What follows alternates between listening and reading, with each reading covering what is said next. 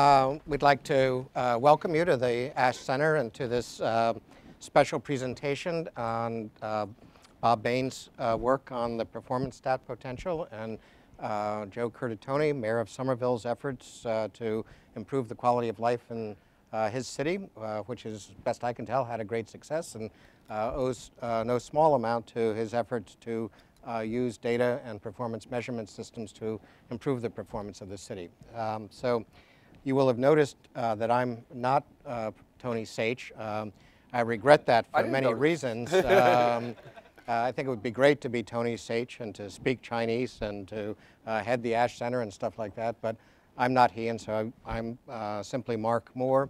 Uh, and um, I've studied public management here at the school, and Tony has to be at a faculty meeting, so he asked me if I would take the responsibility of convening this session and monitoring uh, the panel discussion, which I was delighted to do. And the principal reason I'm delighted to do it is that one of the really fun things about being in the Ash Center is that it is a place where uh, we take um, uh, practical questions of government and performance very seriously, uh, and we can distinguish between uh, taking, we can distinguish often between something that is of great academic value and interest, and on the one hand, versus something that's of professional value and relevance on the other. Uh, and we to the things that have a great deal of professional value and relevance. And the mark of that is what, on those occasions when we get to do our work in the company of practitioners and on the problems that they are facing. Um, and uh, we've done that in the area of innovation generally, uh, but also then particularly in the kind of innovation that is on display here, which is an innovation in the design of a performance measurement system that would cause the performance learning of the city to go up, uh, and therefore would be something that would increase uh, the total number of innovations in the city, uh, partly uh, as a secondary result. So you have an innovation at the administrative level that produces innovations at the operational level uh, due to the way the system uh, tends to motivate and drive performance of people inside the organization. So our schedule for today is for Bob to step forward and lay out sort of the basic thesis of his book, and then for Mayor Curtatone to comment on uh, his efforts to improve the performance of city government uh, and the way in which uh, the use of information systems has helped or harmed that effort. So, Bob, I should, as Bob steps up here. This is my colleague, Bob Behn. He's a professor here at the Kennedy School of Government. He's been my friend and colleague for over 30 years.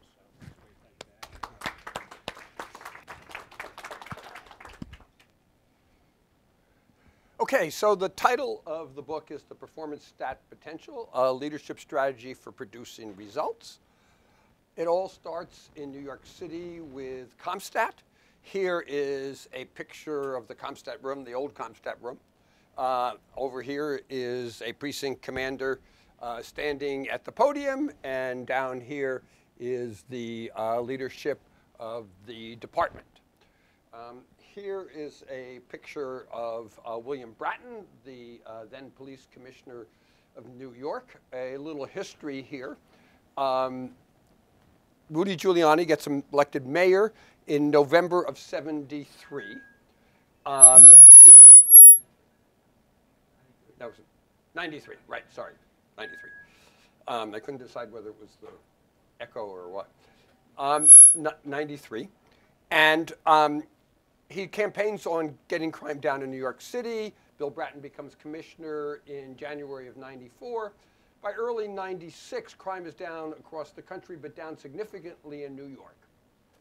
And Time magazine is going to feature this. Mayor Giuliani says, ooh, cool my picture is going to be on the cover of Time magazine. And within three months, Bill Bratton is the former police commissioner of New York. Uh, here is Jack Maple on the set of a TV program called The District, which uh, preceded The Wire. How many of you have seen The Wire? How many have this impression of CompStat from The Wire? Okay. Um, this was a previous program. Um, Craig Nelson, the actor, was the uh, police commissioner. uh, Jack Maple, the um, cop behind um, CompStat in New York, uh, was a consultant, and this is an example of art imitating life. That is, Maple started wearing the shoes, and the actor copied them. Um, the CompStat strategy spread all across the U.S. Almost every senior, um, every, every large police department uses it. It uh, is also used throughout Australia, where um, the policing is done by the states, not by the municipalities. Um, it next spread within New York City. A variety of non-policing um, organizations implemented the strategy. Here I mentioned two. Um, HRA was doing JobStat for its welfare uh, programs, and Administration for Children's Services was doing ChildStat. Spread to agencies elsewhere. Here are two from Los Angeles County. Um, the uh, Social Service Agency had something called DPSS Stat. Um, mental health, um, mental health uh, just called it Stat. Um, the interesting thing is that New York and LA did not know about each other until we brought uh, representatives from both of them to the Kennedy School. Um, the next was a spread to uh, jurisdictions. Baltimore was the first, but Joe, right after um, he became mayor, um, went to Baltimore and set up uh, SomerStat and Somerville. And then the last thing I will just emphasize is that um, the feds, with the Government Performance and Results Act, Modernization Act of 2010, um, required every um, federal agency to run quarterly performance reviews. The three examples I put up here, FDA, TRACK, FEMA-STAT, and HUD-STAT, were agencies that started doing it before um, Congress decided to tell them to do it. Okay, so what is it?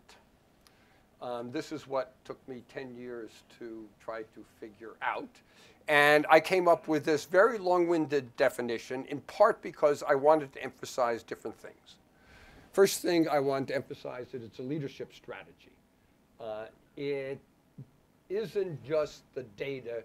You have to have the organization's leadership actively engaged in doing it, pursuing specific public purposes by producing specific results, using current data, not last year's data, to analyze our recent performance, uh, holding regular, frequent, integrated meetings at which people get feedback about how they're doing against their targets.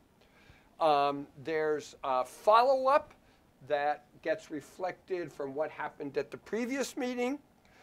And despite what you saw on the wire, there's a more effort to learn from these um, efforts than to beat up on the um, incompetence. Um, trying to figure out what the next performance deficits we should focus our attention on, setting new targets, and lastly, I just want to emphasize that you have to be persistent. So I'm just going to end it here. Um, the definition covers most of the things I think um, Joe's going to talk about, but also the questions that you will have.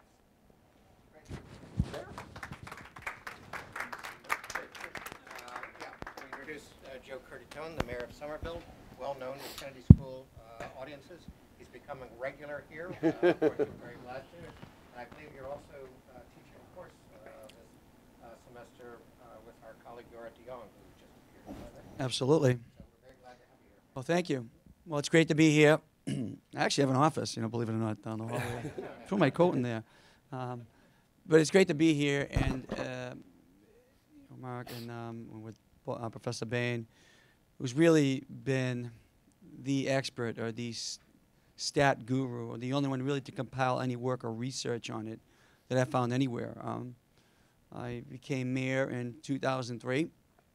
Uh, prior to that, I served on the Board of Aldermen, which is the legislative body in the city of Somerville, and I learned about what Baltimore was doing and my frequent visits here to the Kennedy School.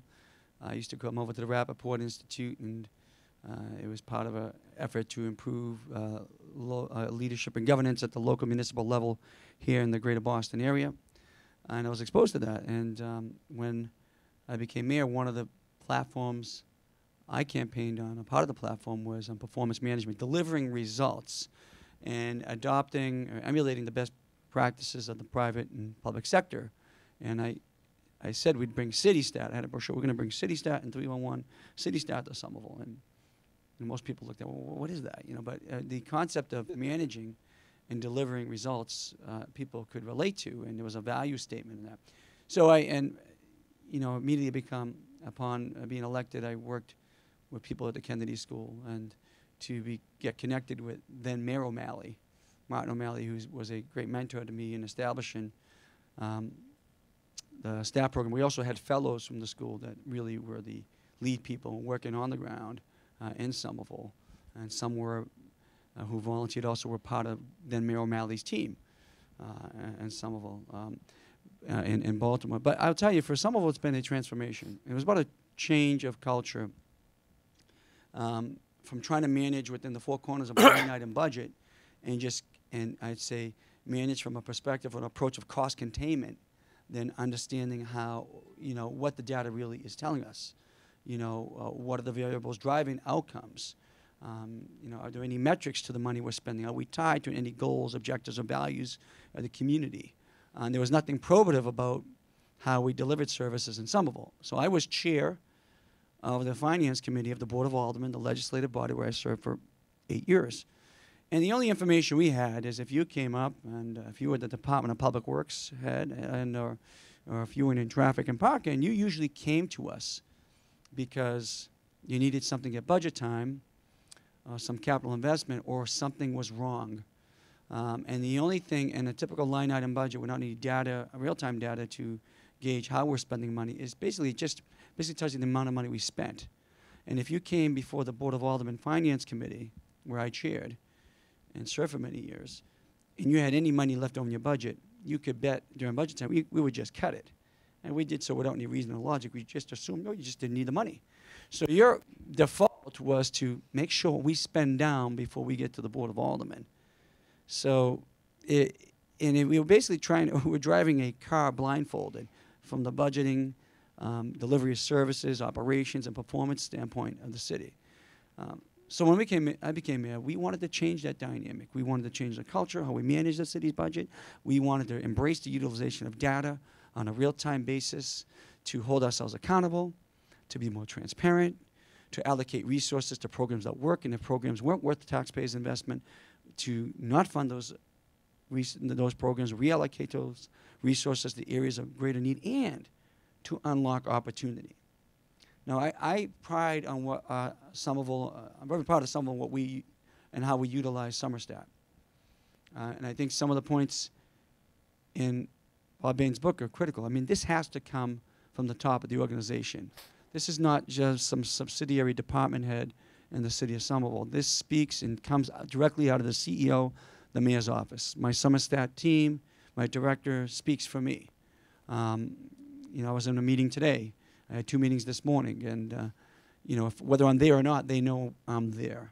Uh, and if I'm not there, I'm updating all the statistics, all the trends, and evolutions of data that we're seeing in our operations, uh, performance, and issues that, ar- that arise on a, on a daily basis, on a real-time basis.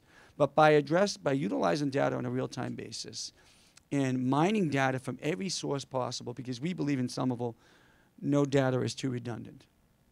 And there'll be some who push back and say, well, you start thinking only about the data. So no, no data is too redundant. So we'll measure everything.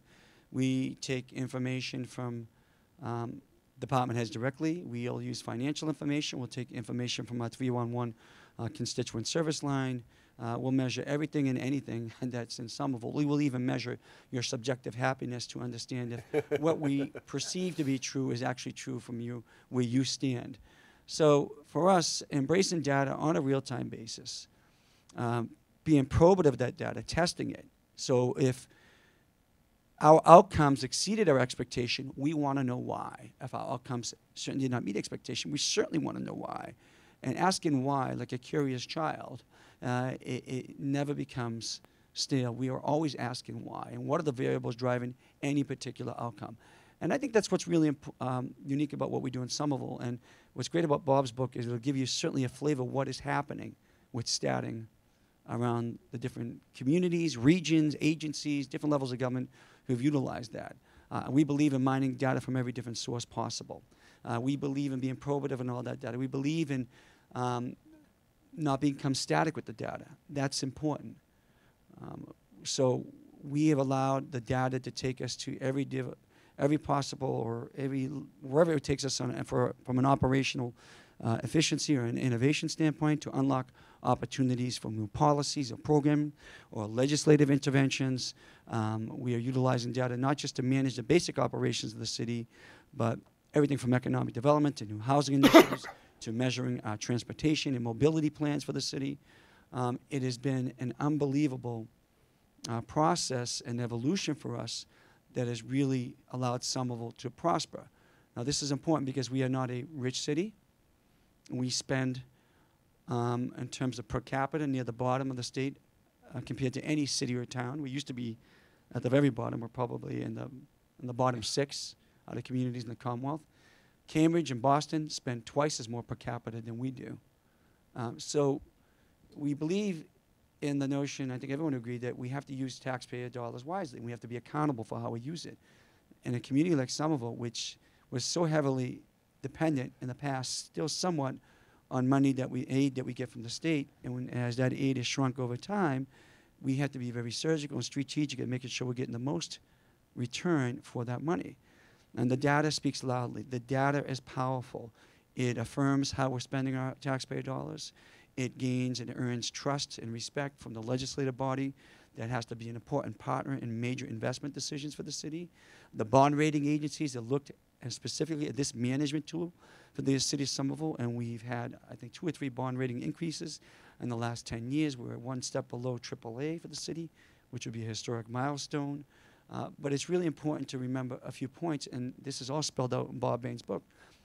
This is not, I'm not a financial manager, I'm not even an analyst. But the people you need to crunch these numbers have to be of a specific skill set. And you really need analysts to crunch these numbers. Without the individuals to analyze and take a look at the data and analyze in a particular way, it just becomes an abstract set of numbers. Uh, your basic um, people in your finance department aren't going to be able to do this. Uh, really, the data is very powerful and really guides everything we do in Somerville. The finance department does not. But aligning the metrics and the data on a real-time basis with our financial goals and community goals is critical. Um, the statting model in terms of being around the table with our cabinet, our, our SomerStat cabinet, and, um, and for the rank and file who participate in those meetings is some, most of the time the only interaction I get to have with that individual. And people get to talk about how they've performed, met expectations, or explain why they haven't, or why an investment in a particular program or capital investment may allow us to have greater outcomes in the future. So starting is, as Bob said, it's not about having a punitive tribunal where a department head uh, gets to get, gets beat up by your executive, but it is an area where we ha have to be accountable because we own that data. As we tell our department heads in DPW or in traffic and parking or in the mayor's office, that department has your name on it, that's your data. And we have to be probative and ask why the outcomes are what they are and try to mine and dig down to what the variables are driving them. But for Somerville, for a city that's really a small sized city with not a lot of resources, it's allowed us to deliver greater better services to our constituents, to show why we're doing it, to gain greater, uh, greater trust, to have better outcomes, to improve our financial picture, and really unlock innovative opportunities.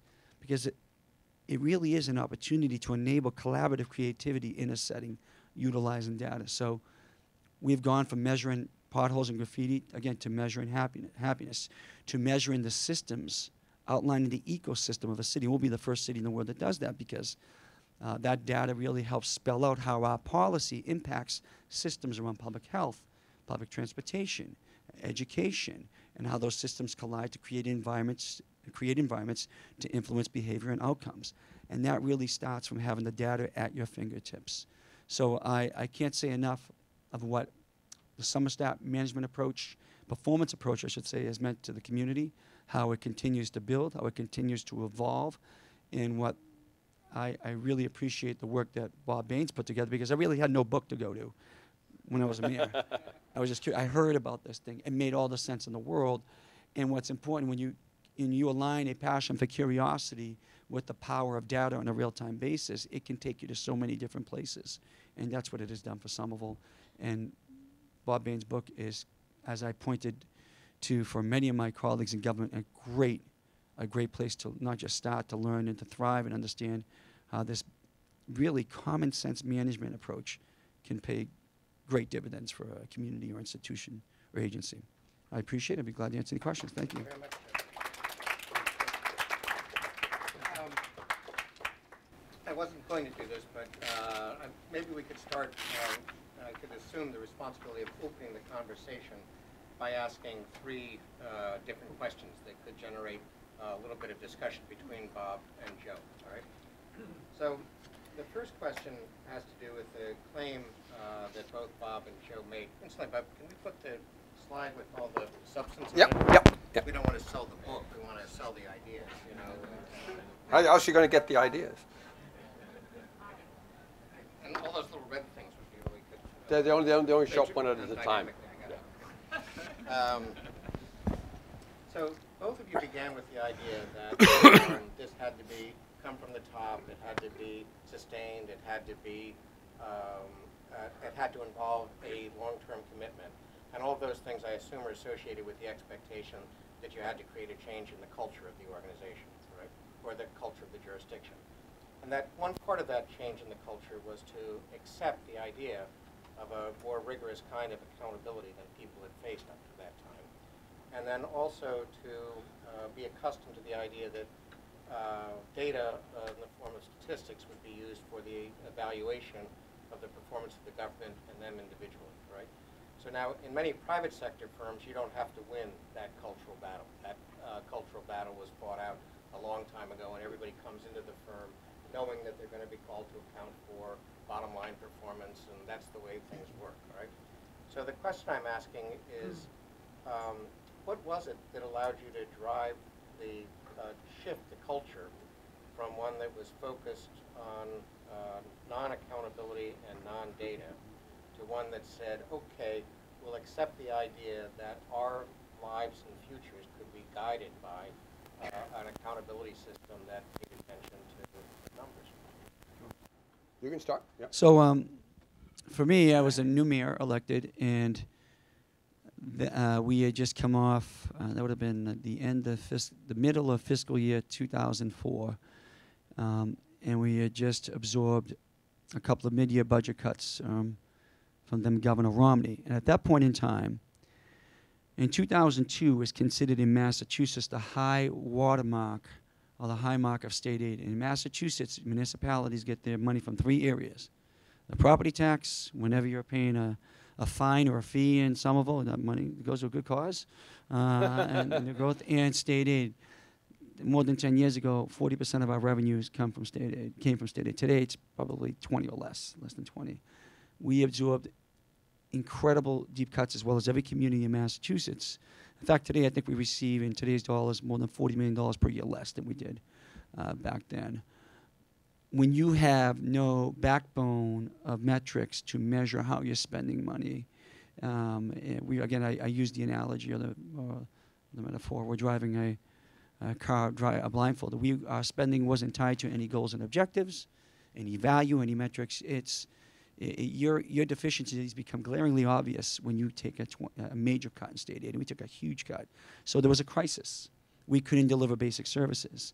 We couldn't explain to the public why one service or program should be prioritized or another, or why we were just making the cuts that we were making. Again, we were trying to cut our way to success, and you know the adage: you can't manage what you don't measure. So that allowed me that disequilibrium in the public and the legislative body and the decision makers allowed me great leeway to put forth great reforms. So when I campaigned on bringing CitiStat to Somerville, you know, not everybody knew what it was, but they were sure as hell interested.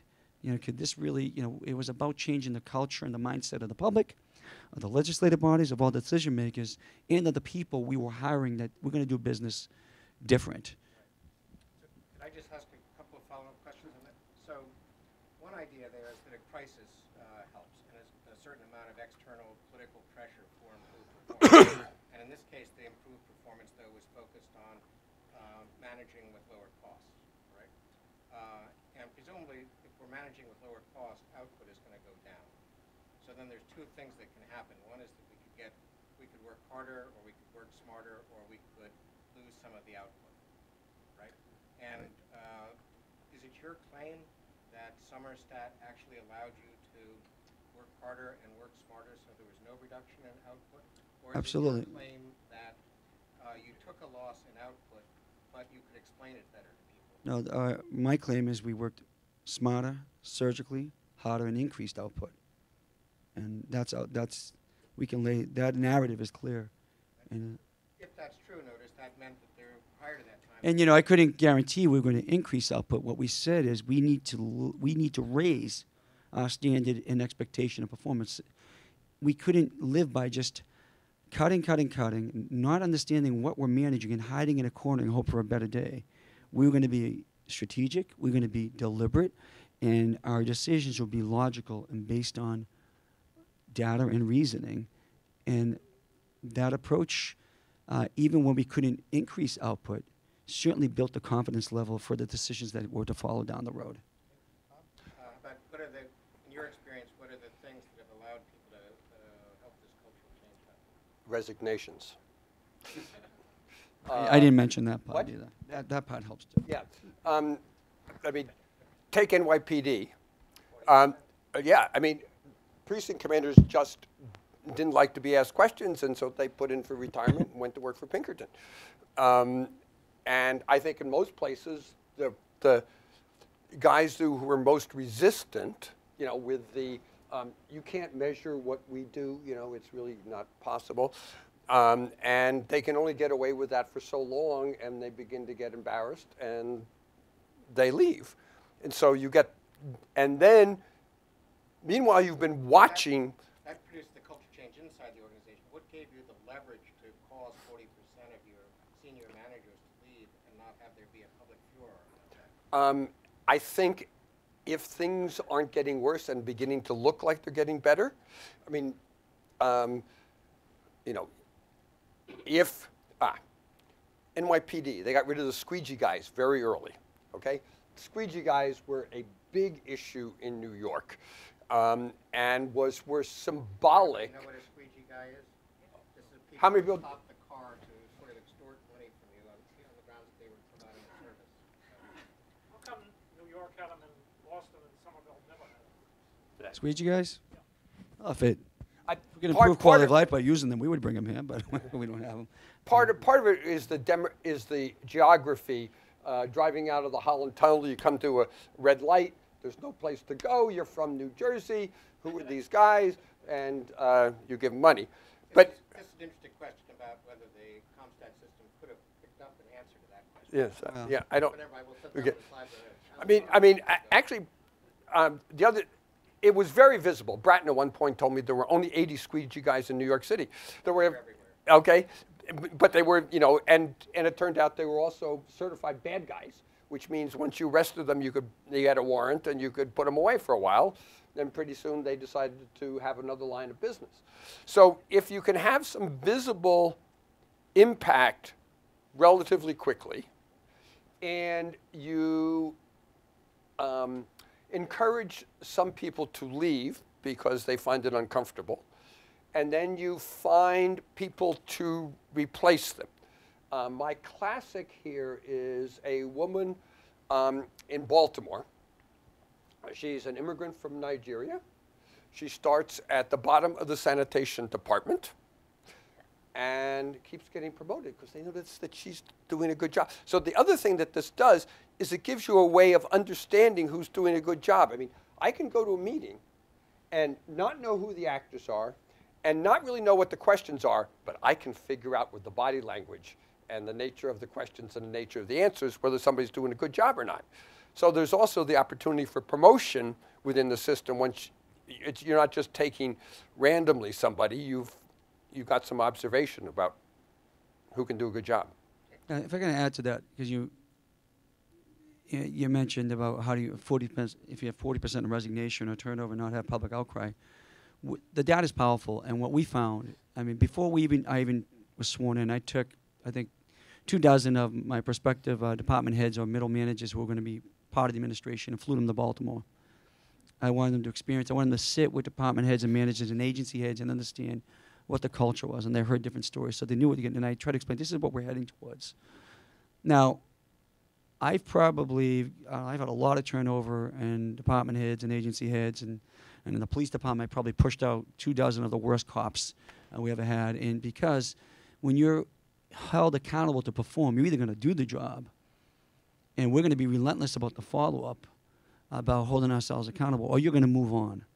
You move on. And that happened in some of them, but there's no outcry because there's an expectation that we're going to do our jobs and there's an expectation we're going to exceed expectations. So I found the public and my legislative bodies and other uh, colleagues to be very helpful. And I found um, the culture within the organization to be built up when people were working hard, who embraced the approach to, to utilize data to increase performance and efficiency, to unlock innovation. A certain, I, I found a certain segment of that organization lift itself up, and we found other members of you alluded to rank and file, even out of the SomerStat, to you know elevate themselves within the organization, to become middle managers, to become department heads. So I think it's strengthened the organization. It's very interesting. Uh, Let me just try one other quick uh, thing on this. To what extent do you think the political strength of CompStat, uh, which gave, was in some sense something that everybody who embraced it could rely on, right? I'm following this method. Yeah. Improve performance is just down the street. Uh, Stay with this, it'll work, right? I mean, that would, to what extent do you think that uh, political appeal was based on a basic idea that sort of coming from the private sector that sort of said, management 101 is what we need in the public sector, and we've never had it before, and finally we've got it now. There was some of that. Um, there was also, I'd say, with the Board of Aldermen at the time, and they knew we had to change course. That was clear. We, c- it could not be business as usual. So that was a great benefit to a new administration coming in.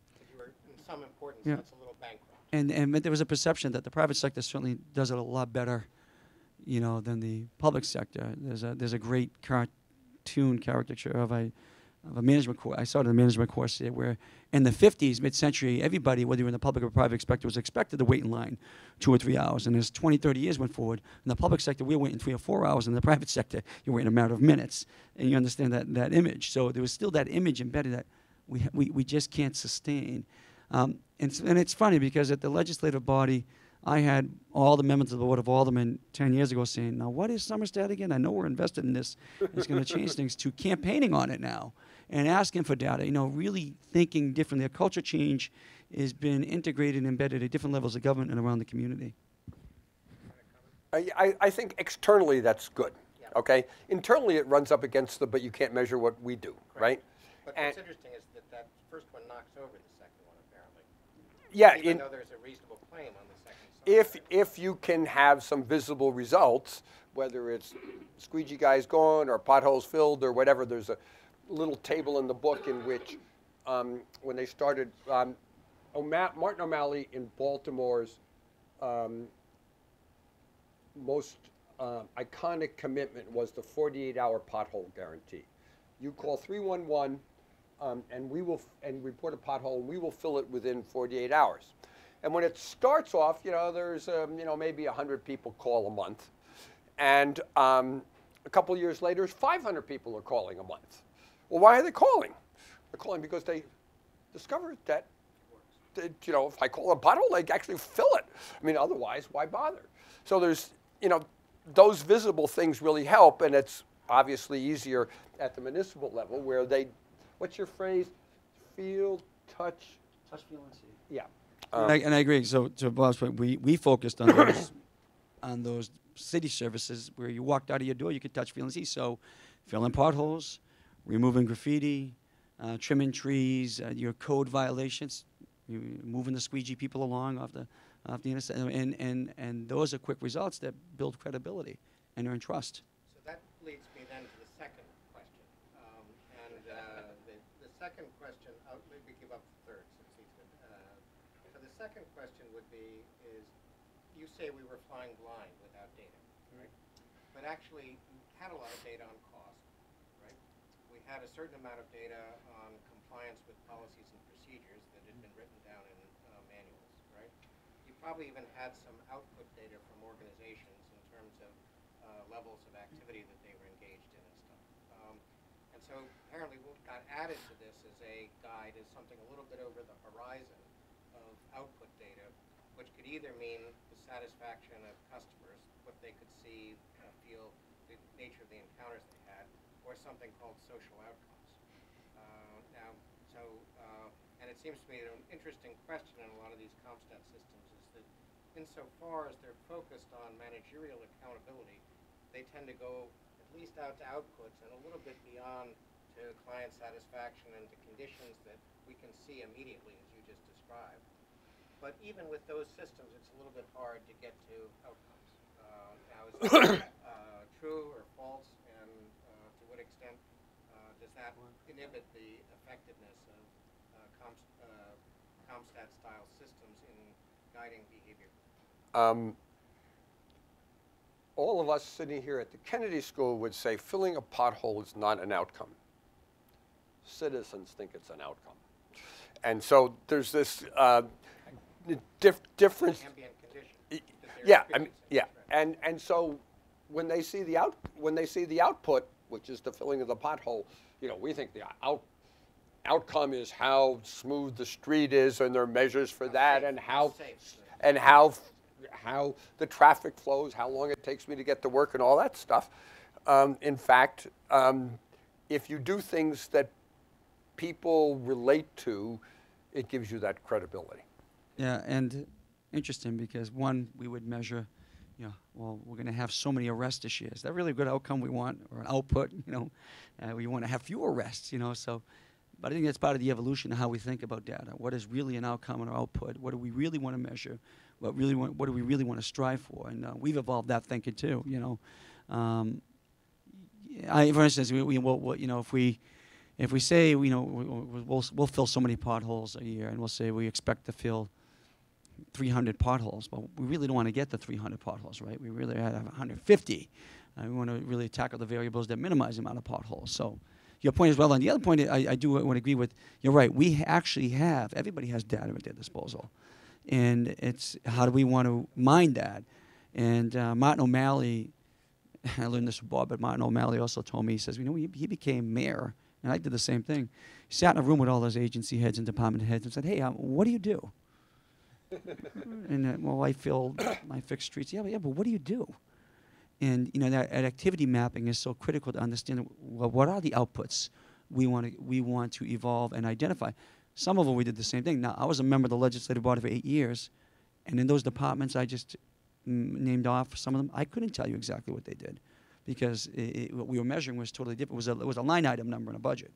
So this raises an interesting question about how far down the value chain you want to measure, right? And what you're both saying is you don't have to go as far as many uh, people who recommend benefit cost analysis or program evaluation or stuff like that uh, think it's important to go. And it's good news because if we had to go that far down, we couldn't use it for managerial. Yeah, because it's the feedback loop is too long. So the good news, so maybe then the answer is to improve the measurement of outputs. Or uh, the way the way I would phrase it, which is slightly different, is identify your performance deficits, things that are early in the value chain that affect the outputs and outcomes you want.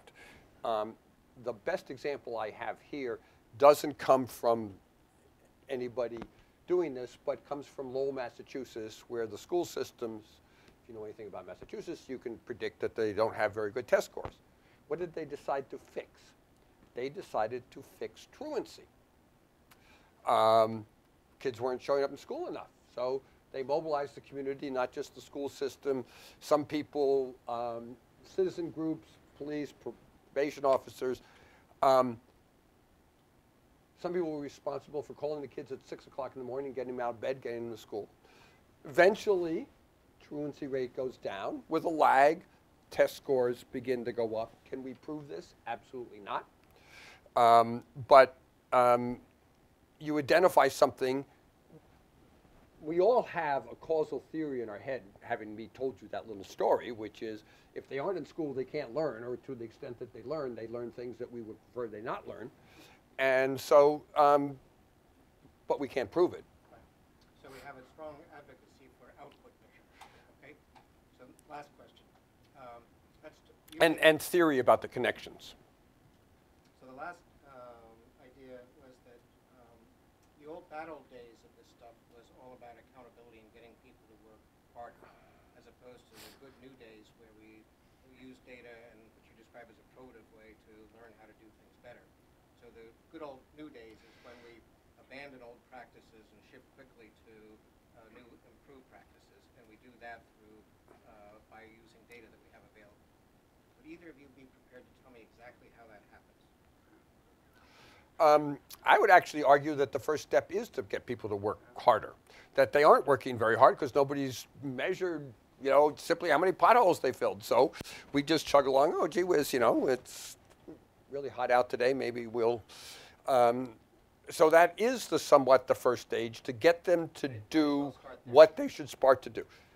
Second stage is getting them to rethink how they do what they're doing. Can we redesign the system for filling, filling potholes so that we uh, don't spend half the day driving around the city, but we think about this intelligently?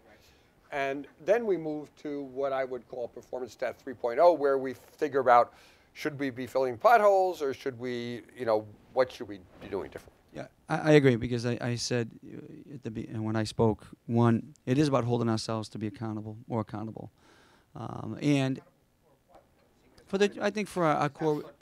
Well, I mean, for the public, it's for our core responsibilities. They elect us to do the services they expect. But starting in enabling this collaborative creativity with the utilization of data, one, we we look to be more efficient. We we try to enable more people to be more innovative and creative with the services they're delivering, to think abnormally, as we like to say, uh, and to identify opportunities for programmatic uh, policy improvements or innovation. So outside the basic operational framework, I think Bob just mentioned that more more succinctly. And so it's I think it's all of those mixed in together. A little bit, last question, I promise. You talked a lot of, I never get the chance to talk to you guys th- this way, so this is fun. But You've got big data as a potential useful, and there's data all around, a lot of it being spewed out, a lot of it underutilized. We've got this problem of collecting some portion of that for regular routine observation for performance data. But then we've got that whole sea of data that we could use to explore to find ways to improve our performance, either within an existing set of products or adding new products or new different kinds of interventions to make? And at that point, the analyst looms into view as the person who is invited into that sea of data to figure out where improvements could be made. Is that? is that Yeah, that's a fair statement. Okay. So then the interesting question is, is where do those analysts and their uh, innovation agenda fit into the CompStat framework? Um, rephrase that question slightly so I just know what, I, I got multiple answers I can give. Yeah, no, I'm sure you do. Um, So it's, where does this happen? And what's, the- and where learning is Mhm. not the learning about improving, improving processes for existing products, but also reimagining the set of products so that we can get better results measured in outcome terms or deal with problems we hadn't seen previously. And you've got a group of people working with unstandardized data, Mhm. trying to work out answers to that question. So how do you make that happen? I, I would argue that, first of all, your analysts can be imaginative, but I also think it happens at the meetings. Okay, the meetings are problem-solving meetings. They are, what happens, what would we, what would happen if we did this? Well, and you know, well, you know, that would cost us here, but it would do it there. Um, smart agency heads walk into the room with say saying, okay, here's where we can go to the next level, but this is what we need from you. Okay, it might be money, but it might be no money, but flexibility to reallocate people. Um, and one of the things that often are in the room are people who can say yes or no, or we have to f- we have to figure this out. So we don't have to run another meeting to examine this. Okay, maybe the lawyers have to be there so that the lawyers can tell you what you can do and what you can't do, um, or the budget guy has to be there. Yeah, yeah, I agree. It happens. That's why I consider enabling collaborative creativity. Right. Uh, and we want to charge people to bring and have that free conversation to bring ideas. One, we want to be free in our conversation and being probative of the data that's before us and asking why, why, why are we, why is this, what is the data saying? Are we all interpreting the same way? I had a meeting this morning, and we're uh, basic, very basic service on sidewalk panel repairs, and understanding, you know, in the last few years, uh, my crews can only attack or or respond to a third of the of the 900 requests, and we're getting a backlog. You know, someone has to do a new ADA requirements and so forth, and you know, and and under which circumstances can we optimally address all of it with in-house personnel? Should we use? Should we contract out? Were there some legal impediments? And that was a very robust and somewhat heated conversation, but very robust and constructive, where ideas were flowing from Public Works Department, from the Law Department, from the analysts, and uh, what I consider all the great ideas from myself. And till we understand, we didn't, I don't think we had a solution yet today. We had an idea of, look, uh, this is where we need to think about hard and strong about. So one vivid way to think about that is we used to have something that happened in government organizations that we called policy development processes, right? And those were distinguished from operations and to a certain extent distinguished from uh, operational improvements, which we thought were the responsibility of the person who was in charge. And it seems to me that one of the things that you guys are describing that CompStat is evolving the ability to bring into the operational context something that used to be described as a policy development process, where both little innovations that are operational and larger innovations that would get counted as policies are being considered in the operational milieu. Is that correct? I would agree, and I think a great example of that is in our in our police department. Um, I have I we bring statting now down to the neighborhood level. From here, I got to go to a ResiStat meeting where we'll share data uh, with the public and think about policy and operations and how they collide in systems. Uh, police department, I, and finally, you go to a ResiStat meeting. I don't have a cop or a commander standing up saying, "Well, if you give us more officers, then we'll reduce crime." That doesn't work that way. But understanding how policy and approach to systems uh, collide with operational effectiveness of community-based policing and so forth, that narrative has changed with the utilization of desks. You're right. That has to be part of it, a part and parcel. We cannot separate the two. Very- very, very exciting, because I think the weakness of the policy development piece was that it never got operational. And the weakness. Yeah, and they were separated off They were separated and you couldn't connect them, and the operational piece never had quite enough dynamism in it. So somehow or other, getting those two together feels like a work in advance. I'm finished. Um, Have anybody got any uh, other uh, burning questions? Yes, sir. So this isn't quite, well, I- this is a burning question, actually, literally. It doesn't have to be burning, but. uh, And uh, I don't know if it's because I'm a bit of a wise guy, or because I have so much respect for our speakers that I'm trying to think of the most difficult problem to throw at them that I can. Give it a ball. Well, It's for both of you, Mary Jo.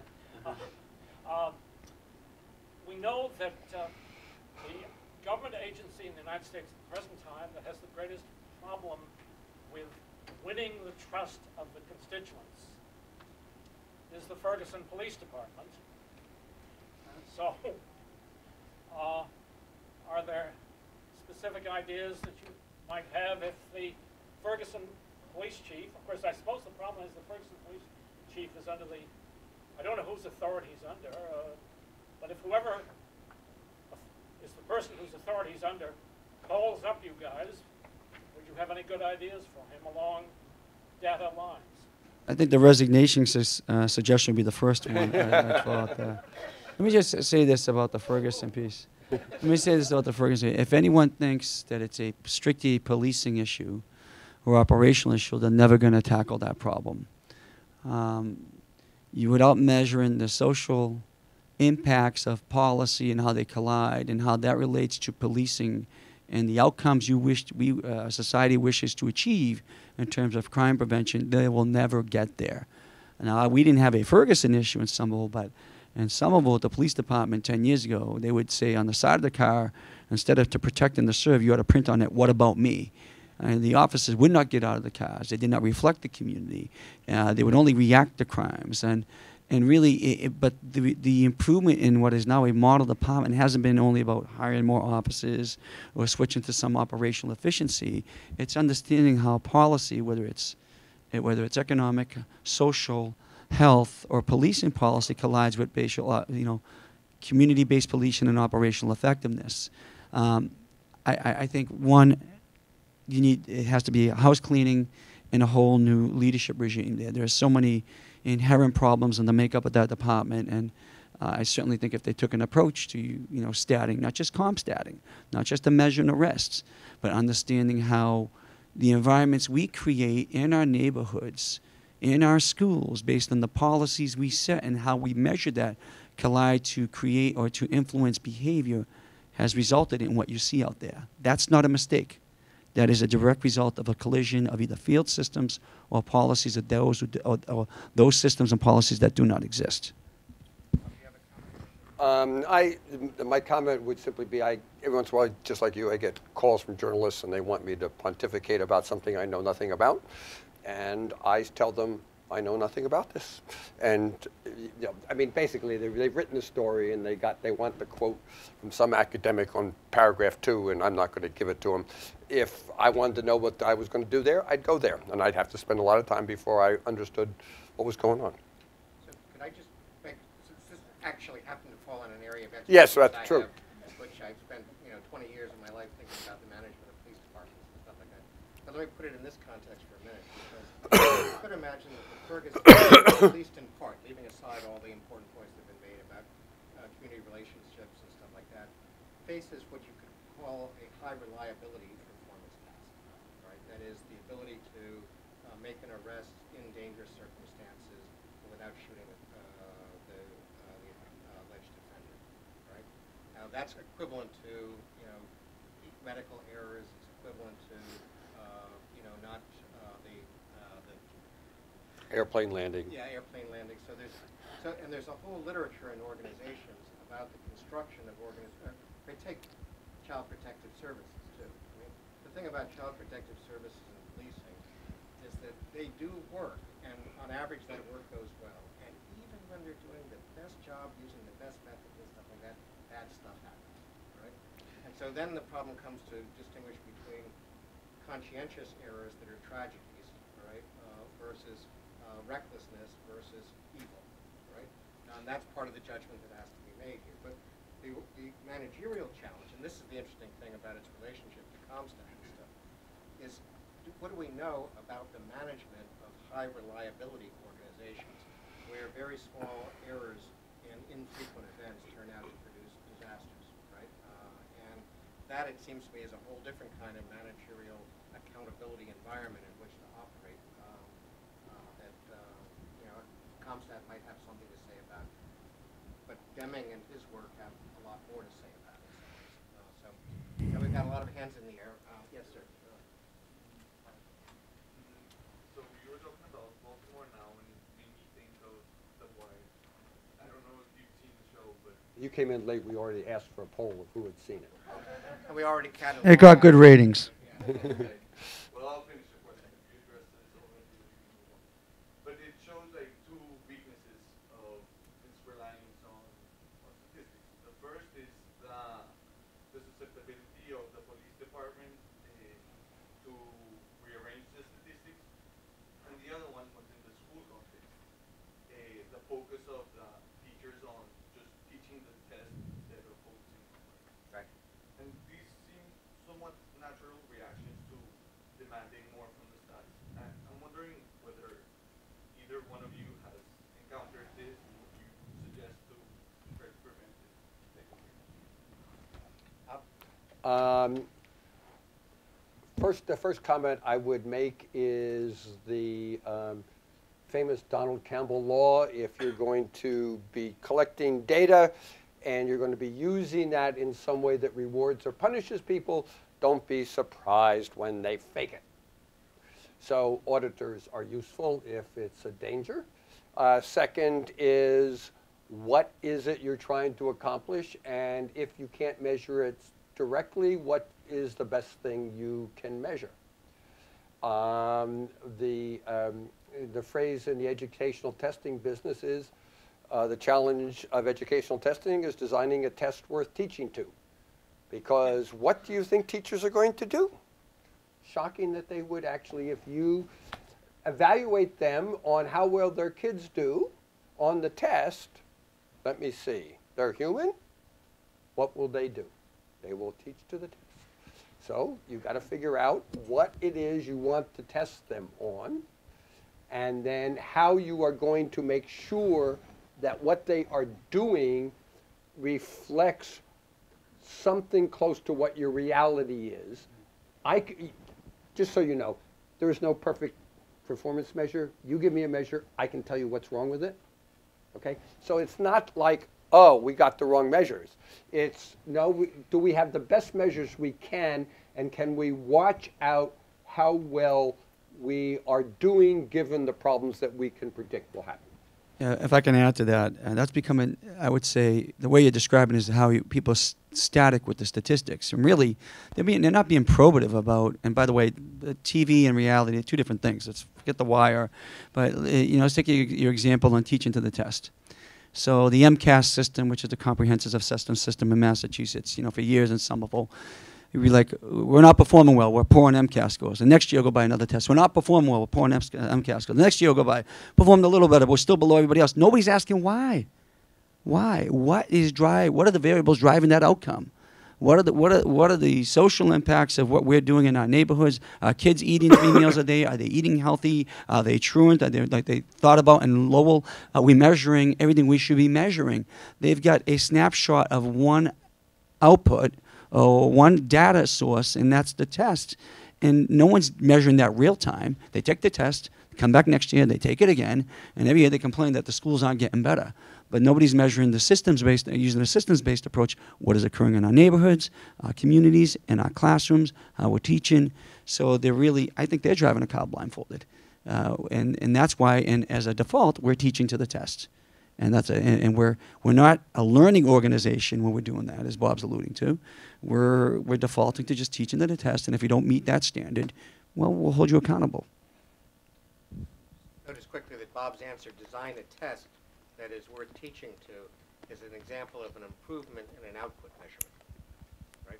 Uh, so there's, there's, uh, Yeah. anyway, so, um, yes, back here. Uh, Thank you for your presentation. Uh, So my question was, you made some reference to the private sector and, and, and and said that they did a better job, you know, measuring stuff. Of course, I mean, they're measuring income, you know, uh, and profits.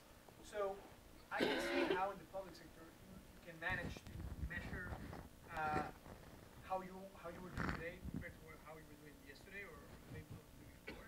But how do you compare between different departments? Like, how do you, how do you, how do you know if the health department is doing a better job than the environmental department, than it's doing a better job than the security department?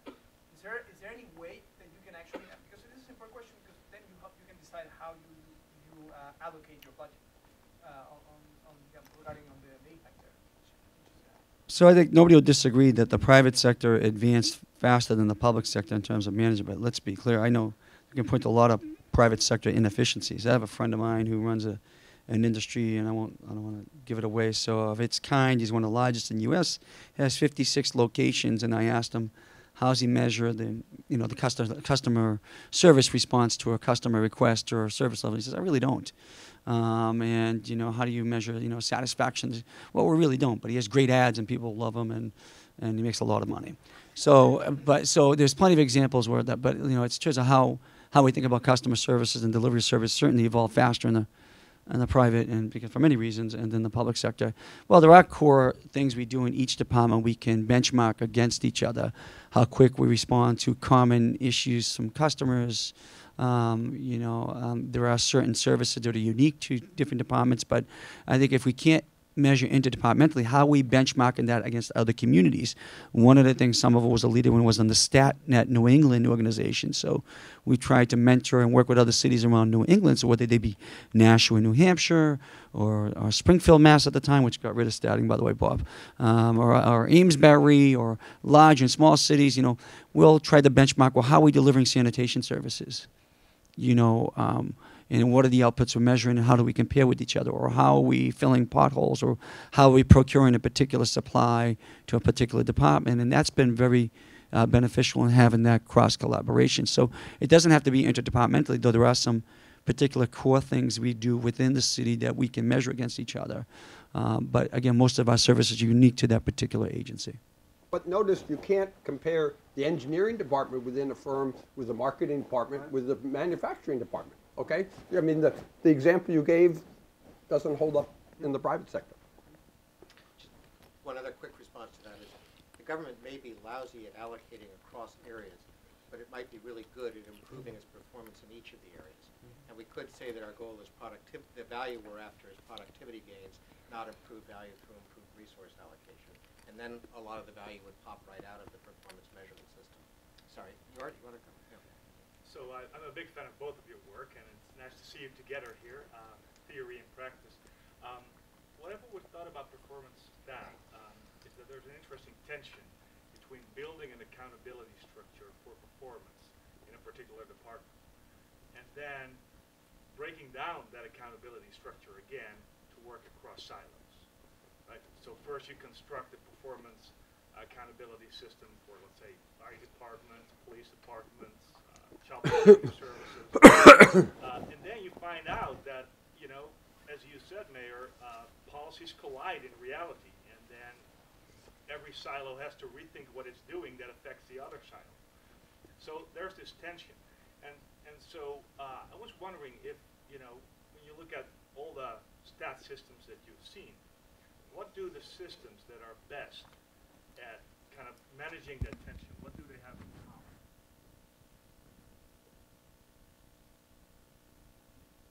Good managers. Okay, I mean, just Say it louder. smart, good managers, smart people, people who can go from, um, you know, we were talking before about getting them to work harder, then getting them to work smarter in terms of redesigning the current systems, and then figuring out how we, how we work together to get at the real purpose we have underlying it. I don't think you can jump to the top of the performance mountain, no, without, first of all, just getting people to, how many potholes did you fill this week? And uh, this crew filled uh, 50 potholes last week, and your crew filled 10. Oh, Well, we had bigger potholes, okay, or whatever it was. But you know that begins to break down, and you begin to figure out who can do it, and then okay, how do once once we do that, how do we re- redesign it, and then eventually you can get people working together about bigger problems. Yes. I, f- I found, you know, in that setting, from a, from a practicing standpoint, again, enabling collaborative creativity has helped to break down those silos. But you have to have good people at the end of the day. I've moved, I moved a lot of people along. If it's not working out, I mean, we, we, we, you know, we just have to make that decision. We have to move people along.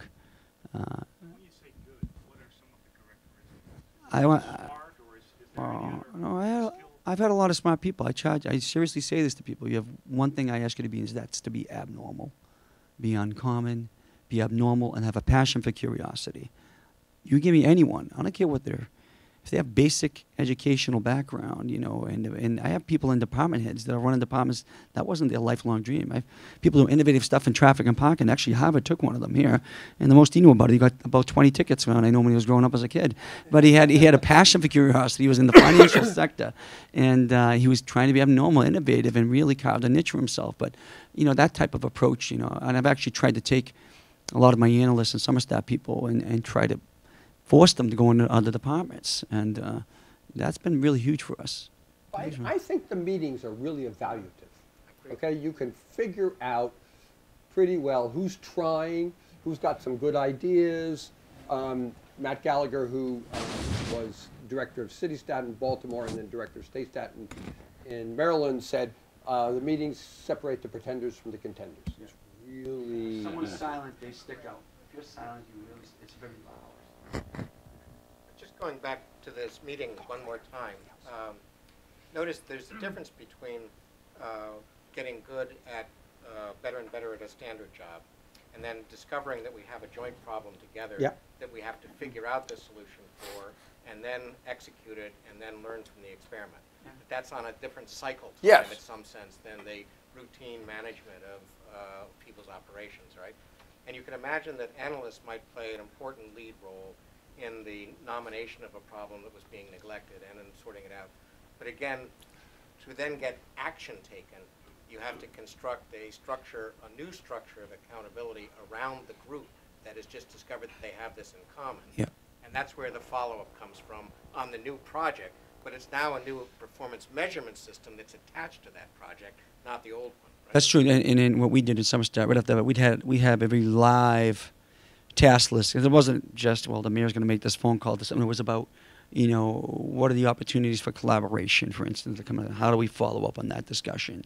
You know, I had two meetings today, and uh, the first one was very interesting and frustrating at times, and, uh, and people still trying to internalize all the solutions had to come from them, well, it could come from the group, and, um, then I had a new person who took over my. Like the Harvard faculty. yeah, I mean, I, you should start over here, though. By the way, I just said that.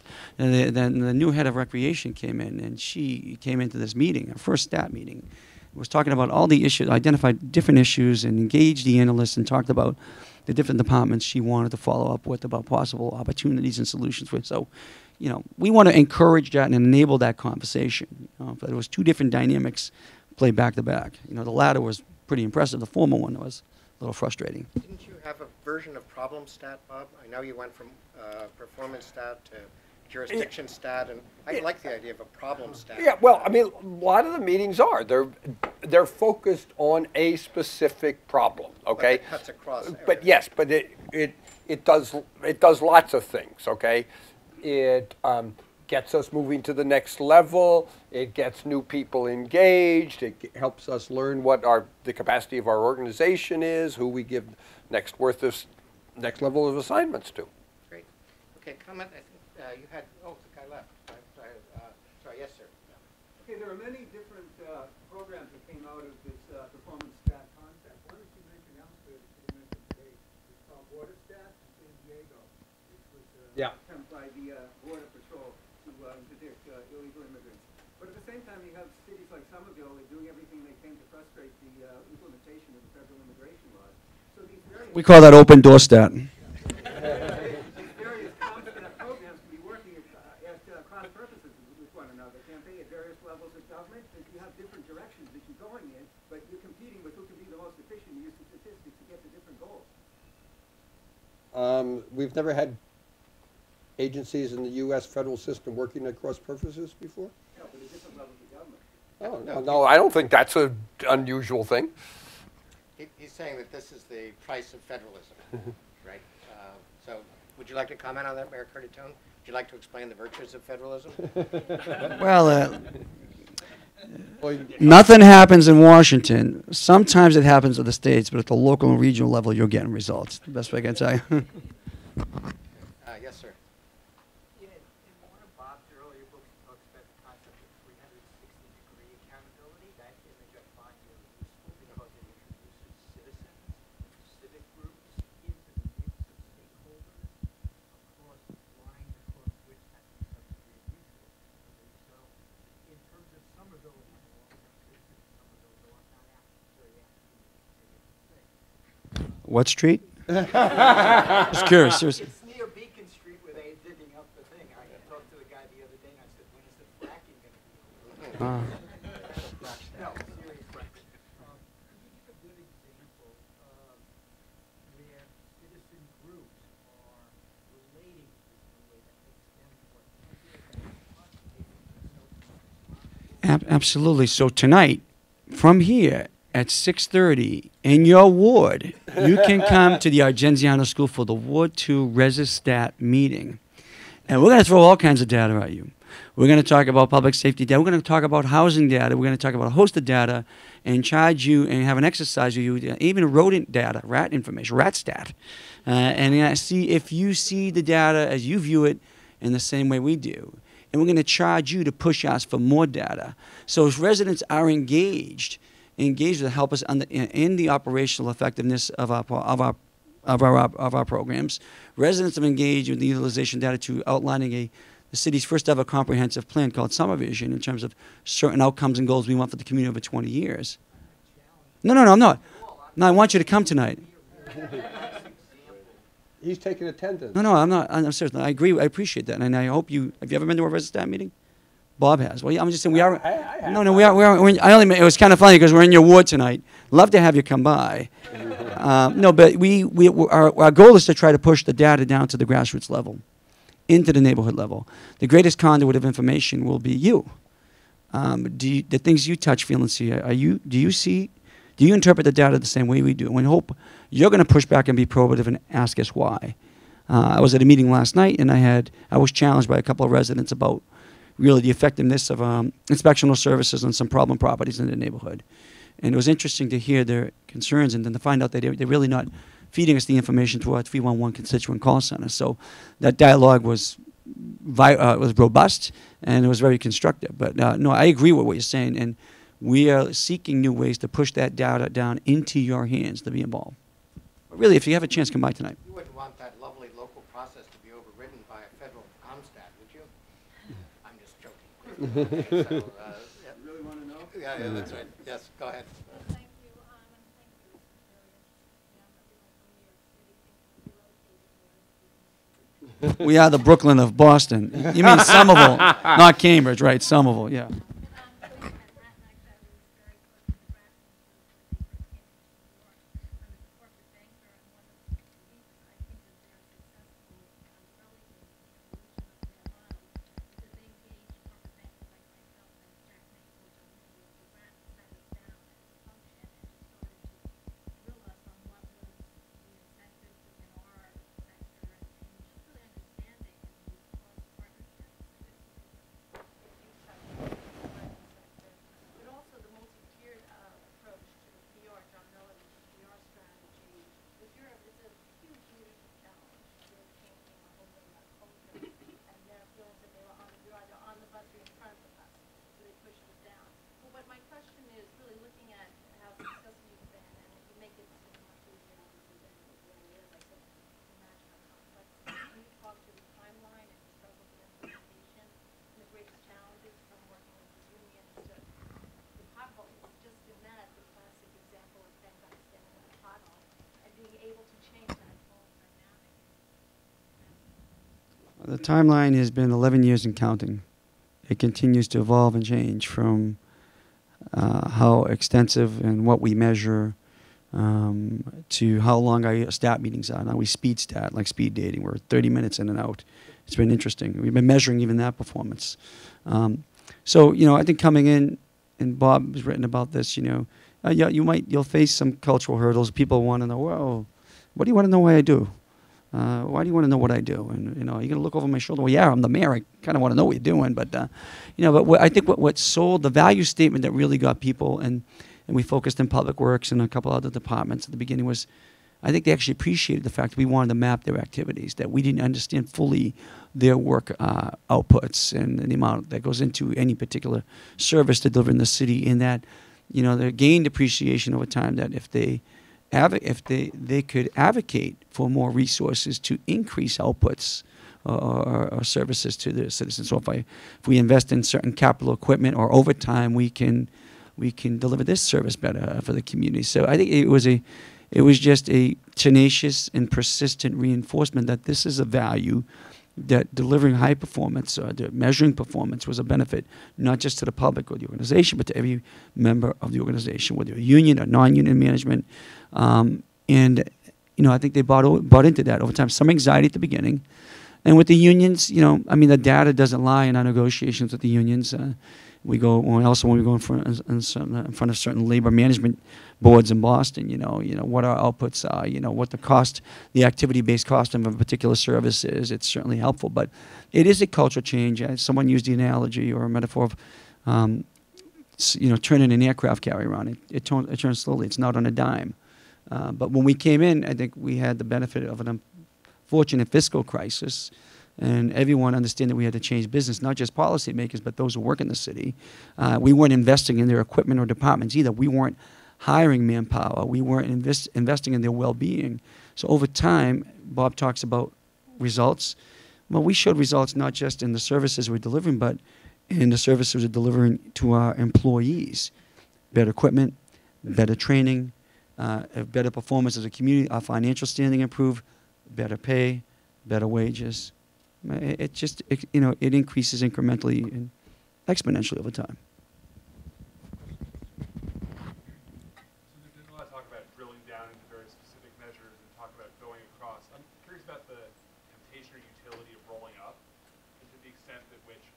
can't compare across departments, but to get to a point where maybe there's not a single number, but there's some way that you can index all, the sum of all of the activities in the city to sort of see, you know, macro level, right track, wrong track kind of thing. So is that something that scares you, that's something you're trying to do, is that, or is there no utility in an exercise like that? Uh, I think there is utility in exercise like that. We, I, and I may, hope I'm answering your question. So, uh, one of the things we're going to measure is really the social progress of the community. You've all heard of a social progress index, and that we measured happiness of the community. Why would we do that? And why do we? Why are we building a well-being index for the city? Do our policies, our performance, our operations impact? Can we impact your sense of happiness or well-being and how you feel about the city, community? Will that impact you staying here, raising your family here? So I hope I'm answering that. So we're rolling up to the more at a 30,000 foot level of what we're thinking about. I guess my question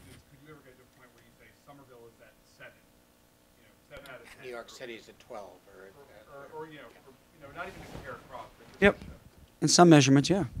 Um, I- I would just argue that at some point that there's also policy decisions that get made in terms of comparisons. Um, I've lived in a lot of different places and had my trash picked up in a lot of different ways. And so comparing just the simple trash across multiple jurisdictions isn't just how efficient the trash department is or the contractor is, but do we pick it up twice a week or we pick it up once a week? Do we pick it up at the curb? Do we pick it up in the backyard? Do you, do, does Charge the a city, price. what? do you charge a price or not? Yeah, does, does, does the city provide the container or, or not? I mean, um, so it's, that's not oper, just operational. There's a policy choice that gets made, which we make compared to what else do we, do we want to invest in? Do we want to invest more in schools? Do we want to invest more in fire services?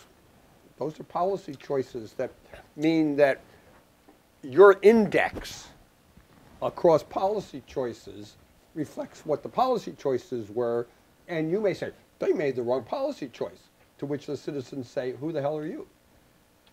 So one, indexing is often related to monetization as well. And the same, same aspiration drives both of them, get a summation across and observed over time. And the question, I think, with respect to both of those questions is always whether you're gaining or losing information that would benefit the citizens in terms of what's happening in their city, right? Uh, and so if you construct a distorted measure, then it doesn't help the citizens very much.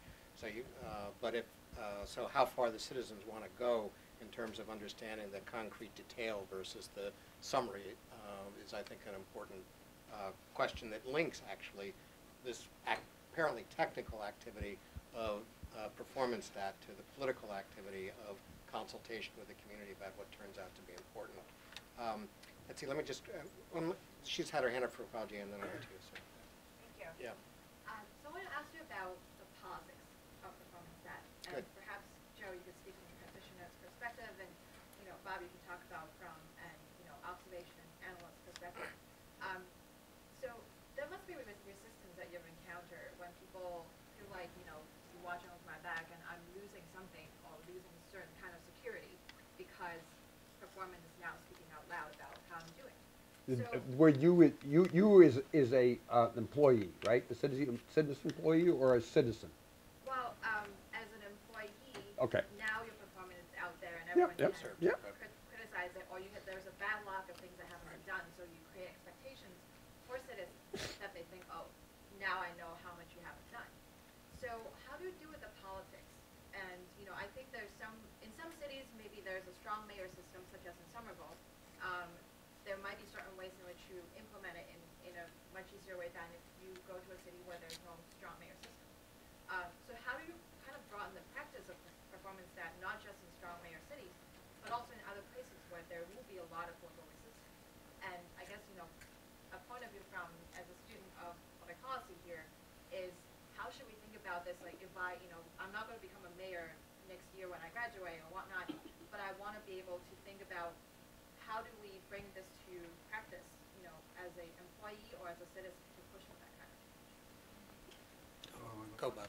Um, I, I think the, the key question is, is this person who you just identified capable of calling a meeting and essentially mandating people to show up.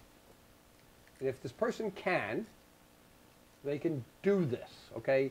Independent, strong mayor, weak mayor. Um, we have this image that uh, the mayor of Chicago is a um, strong mayor and the mayor of New York is a weak mayor. Actually, uh, constitutionally, it's the other way around. Uh, so be a little bit careful about what you mean by strong, strong and weak. Um, and then the ability to make, uh, but to, if you can get people in the room and drive a discussion about what we need to fix next, you can do this. Yeah, I, I agree. I mean, I found, I mean, surely, I, I will tell you that, you know, as a, I'm strong mayor, let's say, you know, I, Somerville, Boston, same form of government, Cambridge, several more mayor, city manager. So, you know, it is, I have greater flexibility to do what I need to do. There's still checks and balances, mind you. You know, but it's not impossible for us, you know, City of Lowell, um, a few years ago, you we worked with them and the city manager. It was not, a bit of an uphill battle with the city council, was able to get staff and, uh, start a staff program. There were many small towns, even with a strong mayor, the town of Amesbury, you know, was basically a town with a city form of government, you know, the mayor, you know, basically his own staff department. Uh, but there's no reason why any agency, as you obviously the authority of public meeting, uh, and you have managerial operational oversight over, over that agency, why we can't take the same approach. Uh, Last question, Jay, sorry. Oh, Great, because I'd like to um, build on your question and take this out of a high-income country and put it in a low-income country to focus on the key elements of performance stat as a leadership strategy, because two things you have not said, it doesn't have to be expensive in terms of financial costs, doesn't have to be high-tech, and so my question is, taking the core elements of the leadership strategy, is there any reason why it cannot be adapted to a low-income environment? Um, no, but I would make a slightly different distinction, which is, have you got the corruption problem under control? And if you don't, you can't delegate responsibility. Say, here's your target, go, go achieve it, and people just hire their cousins and give the contracts to their friends. So you have to, at some level, have figured out that you have enough control over, not that we have it here in Massachusetts, but, um, in, but you have enough of it so that you, um, can ensure that you just aren't giving away the store. Yeah, I, I agree, and, um, I remember even talking to mayors, know, poor countries, poor communities, I mean, or, or smaller towns, this isn't a fancy computer, computer program, not about technology, it's about basically Microsoft spreadsheet, put your numbers on there, there you go, Now, what do you do? And that's your first question, and you get, and what the approach. You do, however, need to build up that analytical capacity, that is critical, uh, I mean, Chuck quote, right, without that ability to without crunching the Yeah, numbers. sure. Just an abstract set of numbers the day, but we can still be probative, we can still ask questions, we can still be abnormal about what we're thinking, but building up that analytical capacity would be the greatest investment anyone can. Okay, we take one last question because you've been uh, patient, but this will be the last, and uh, then I have an announcement to make. Yeah, I'm from France and uh, I used to be here for five years at Fellow, uh, Kennedy School. Uh, and uh, even in France, we have heard about the mayor of Somerville. So I've never been invited, it's funny. you and, well, as a matter of fact, when I am around here, we are living in Somerville. Oh. Kidder Avenue, exactly. Thank you. And uh, my question is, is the following. Uh, Mayor, do you think about the possibility for you to relocate? Because, uh, I will- France I would will- be a possibility. I will be very happy to give you a list of uh, tens of thousands of uh, towns or cities who will in France badly need your leadership. Thank you very much for that. Um, We should thank both our guests very strongly uh, for, uh, yeah, Bob, you want to? I want, I just want to make one comment about um, the uh, leadership aspect of this and the ability to delegate. Um, Joe said, um, I was, and I didn't prompt him to say this today, But I end the section on who runs the meeting with the following. As Joseph Curtatone, mayor of Somerville, has often said at public settings, my director of SomerStat speaks for me. Did it again today. And that's a very important, is if he's willing to delegate, then um, you're going to get leadership throughout the organization. So I'd like to thank both our panelists. Um, Buy the book, uh, learn about the experiences and accomplishments of Mayor Curtatone, and go out and create good and just society. So thank you very much for joining us. Thank you.